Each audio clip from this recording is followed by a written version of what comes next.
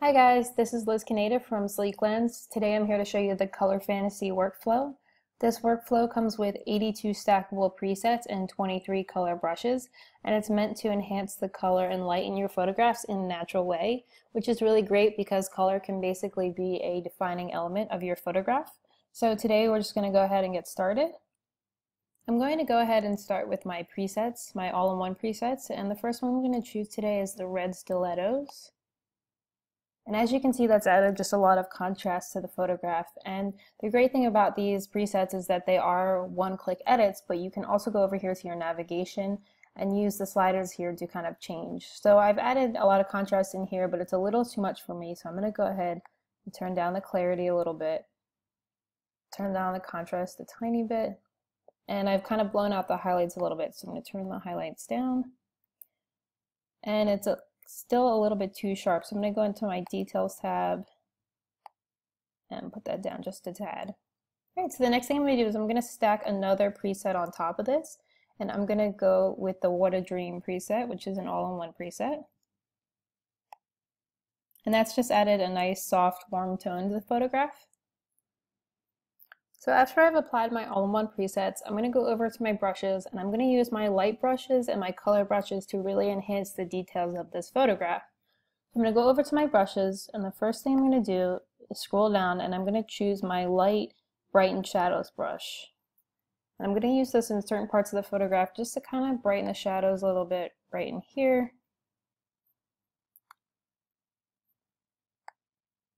I'm going to brighten the land strip over here. And just a little bit on her right here. And then I'm going to go ahead and just slide the exposure down just a little bit so it's not too bright. Next thing I'm going to do is apply a new brush. So I'm going to hit new. I'm going to go down and this time I'm going to use my general light brighten brush.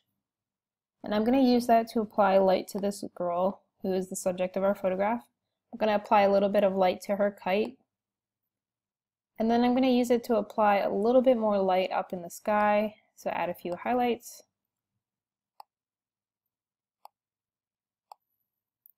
And these kind of water highlights on the ground here.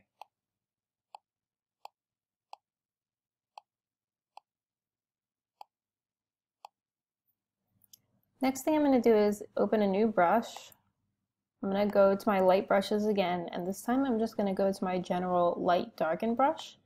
And I'm going to use this to kind of darken some of the highlights that we have over in this corner.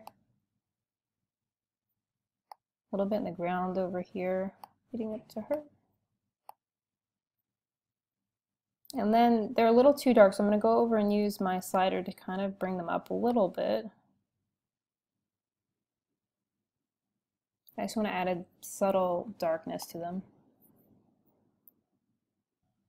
Now I'm going to go over to my brushes and I'm going to open up to my color brushes. I'm going to start a new brush and I'm going to choose the color magenta. And down here you can see the color that's applied to the brush. Um, but this color is a little too red and I want to get something closer to the color of this girl's dress, which is still kind of in the magenta zone. So we're just going to make it a little bit more of a pink color. And what I'm going to do is use my brush to apply the color to her dress so I can really make it stand out.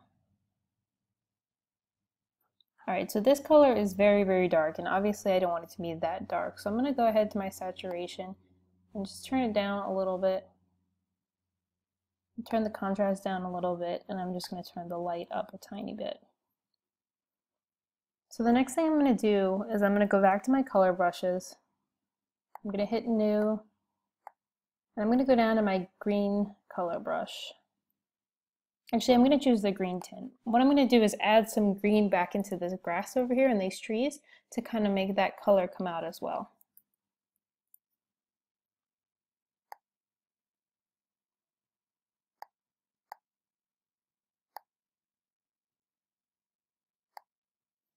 Now that I've used my brushes to add a little bit of color back into the photo, I'm going to do one last thing and I'm going to go over to my presets again and I'm going to apply a vignette. I'm just going to apply this subtle black vignette which just adds a nice contrast around the border of the photograph. So that's how I'm going to do this photograph and I'll show you the before and after. So as you can see, we took a photograph that was kind of bland in color and very dark, and we've added a lot of light to it and a lot of color to it, and it's really just enhanced the photograph overall.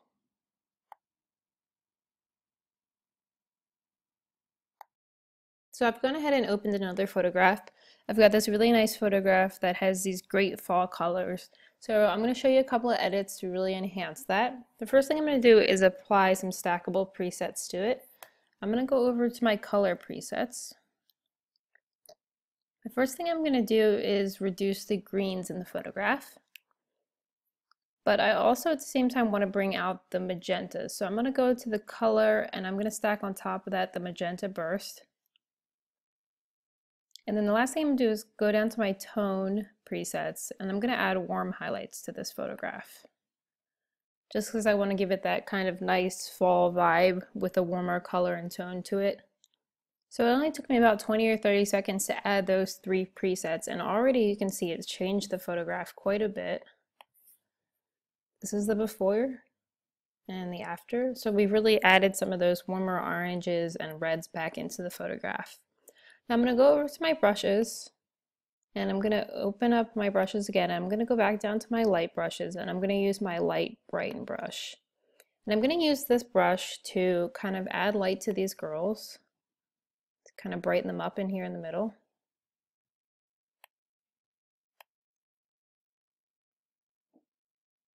Right. I'm going to go ahead and use the brush to kind of add some light around them as well.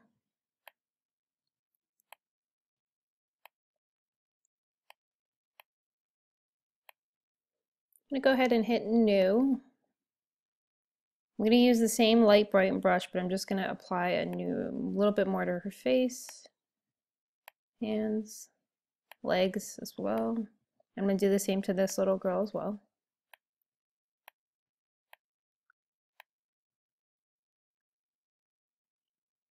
And then I'm to hit new again, and I'm just to apply just a general, one more coat of light over these girls. Now I'm going to go back to my brushes and I'm going to open up to my color brushes and I'm going to choose the magenta one. And you can see I've got this nice red color down here. I'm going to go down and I'm going to go to the density of my brush and I'm going to turn it down quite a bit down to 20 well 21 and then I'm going to use this brush to kind of add some red highlights back into these leaves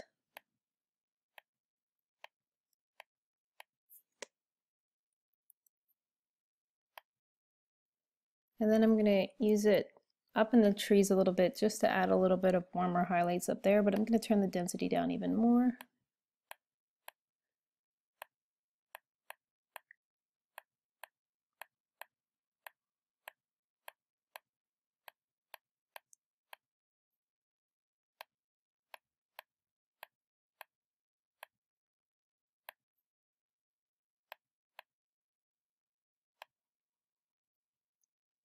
So the last thing I'm going to do is go back to my all-in-one presets and I'm going to scroll down to my vignette presets.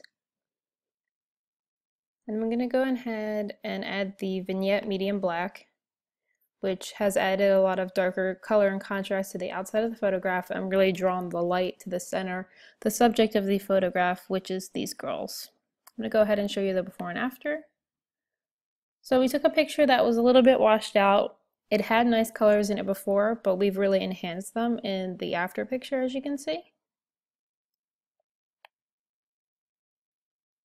So I hope you guys have enjoyed this tutorial and hopefully you'll be able to try it out for yourself soon.